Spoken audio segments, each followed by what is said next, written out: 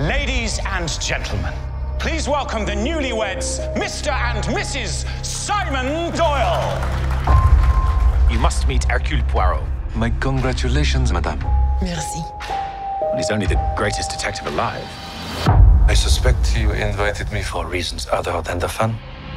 You had something to hide. We have the Karnak all to ourselves, a chef and enough champagne to fill the Nile. Should have hidden it, shouldn't you? When you have money, no one is ever really your friend. It's too late to change events. It's time to face the consequence. Someone is dead. The crime is murder.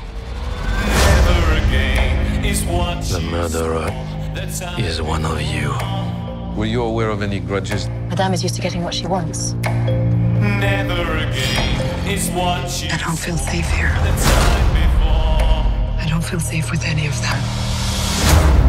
There are so many conflicting hates and jealousies. Oh, I like this. Did you see or hear anything? I did not trust her. I still don't.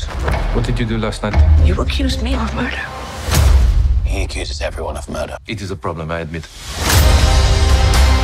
The murder was methodically planned. Find who did this.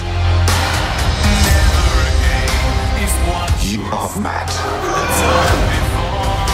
Can I not trust you? What do you want me to say? is else is dead. You lie in my face! Lock the doors!